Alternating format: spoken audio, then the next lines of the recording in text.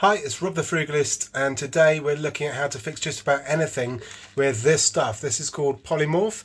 These are little uh, thermo softening balls, thermoplastic I think it's called, and you can pretty much get them anywhere. They're really quite cheap. And um, while I won't be showing you how to fix anything, I'll be showing you how I pretty much used it to fix a, a random thing. In fact, today I was cleaning the bathroom and uh, the the shower rail snapped. There's a bit of plastic coated in chrome, and it just got old, tired, and, and broke in half, and uh, left me with a bit of a problem. So uh, this is just to show how I use that in that particular situation. You can use this stuff pretty much in anything, any way. It's it's almost like you can. Not like a 3D printer, but you can pretty much use it uh, according to your imagination to fill in any holes, gaps, uh, stick things together which would otherwise be unglueable. So uh, I hope you enjoy this and uh, get some ideas from it. Uh, do recommend having this just laying around your house. This is really, really useful thing. I may put a link in the um, description of how, where to get it from as well if you're interested. Incidentally, Polymorph is my favourite Red Dwarf episode. So this happened, uh, broke, snapped off there's a little bit of plastic in there that's broken.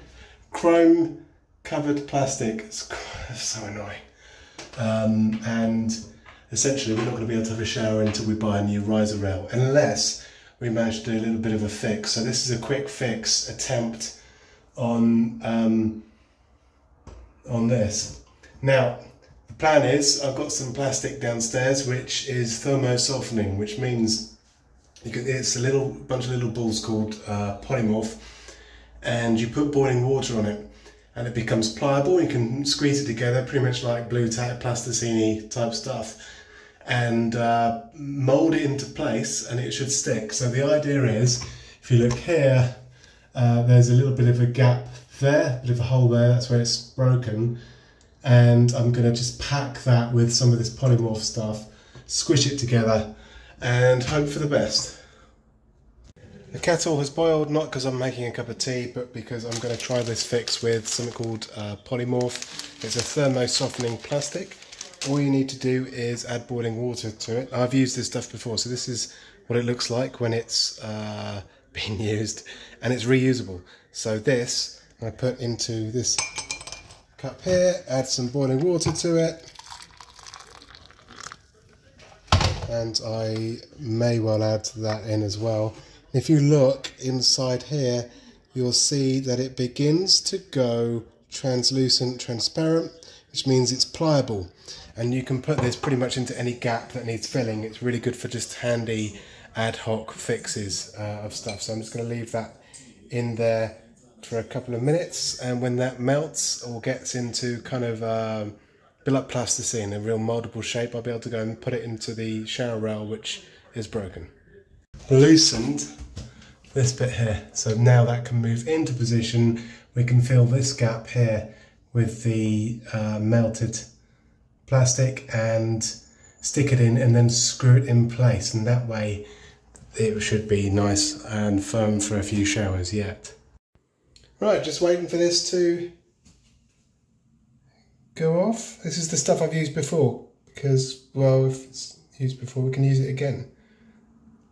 And you can see at the edges, it's beginning to go transparent, which means it's ready to go and to be molded. I'm hesitant to put my fingers in there because it's boiling water still, so I might just fish it out in a minute. Um, you've got a couple of minutes working time with it, and then it's got to be done right. Uh, so I'm going to grab, ouch, Right, so here, here we go, I've grabbed a bit out and you can see it's quite moldable. so I'm going to go and try and take that right now and stick it into the place.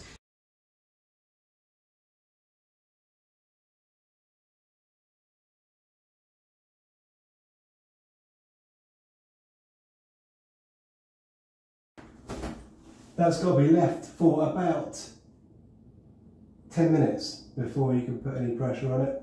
And uh, while we're waiting, here is a picture of this stuff, which when it cools, it kind of goes opaque.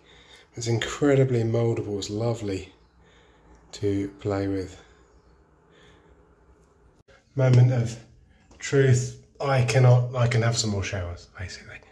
It's fine. Will it last forever?